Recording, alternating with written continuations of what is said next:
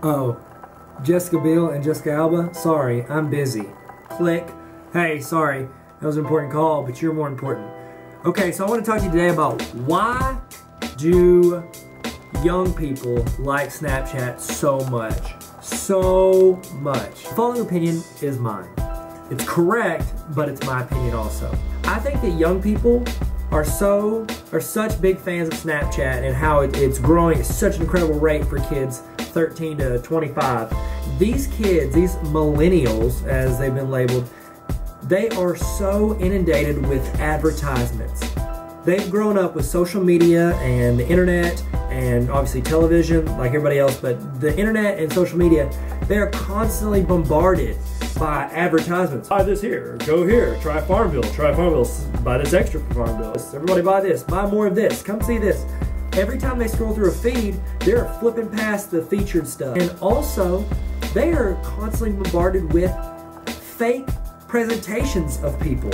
Like their peers, adults, everybody. Like people don't post like, oh, look, I got this huge pimple on, on Facebook. They don't want to tell people about all their blemishes. I slipped and fell and uh, I look dumb now. Wow, that's a terrible example. Oh look, I got beat in this game of horse by somebody who's not very good at basketball. They want their online persona to be a better version of themselves. They're essentially taking their highlight reel and putting it online.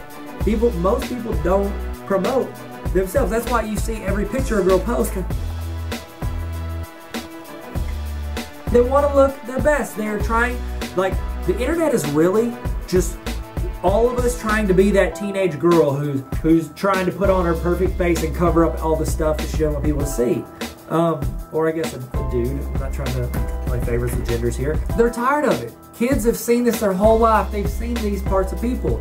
And it's always like, oh, this picture from two months ago with this perfect filter, and then you get the tilt right, and you put it through VSCO cam, and you put it on there. And that's why I'm the best picture taker, and I have the best life, and I see the greatest things. Look at these trees.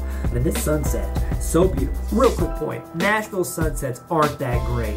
It's a cool town, you're not better. Everybody else sees the same sunset, okay? Calm down. Why do kids like Snapchat? There's no bull crap. They, they have the greatest bullcrap factor on the planet. They can tell when something's fake or posed or not, not right because they've been seeing it their whole life. Why they like Snapchat is because you can toss it on there, you can go to your story, and you can click in and see what's going on in somebody's life immediately. And guess what? It doesn't stay there forever. It ends after 24 hours. It's gone. If it's sent straight to somebody, it goes away right after they watch it. Yes, somebody can video it while you're doing it. They're like, oh, look at this. Oh, and they put it on the internet. But most people, they're sending it to their friends or people that they trust. So, so they're putting stuff out there for a limited time only and therefore they're interested because it's a reality show of people they know or people they care about.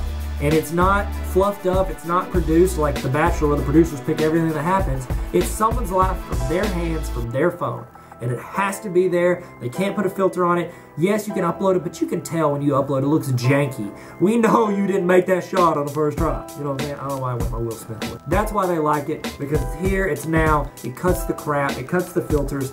It's They're seeing true versions of what they want, and that's what you're gonna see. You're gonna see more and more of these young people wanting authentic versions of stuff. They want to see stuff in the here and the now, and they don't want it fluffed up or pampered or doctored or, or photoshopped. They want the real stuff. Impress them with the real stuff, and then you'll impress them. Or oh, they like pizza. Everybody likes pizza. I don't know. Peace! Give a subscribe. Give your opinion in the comments.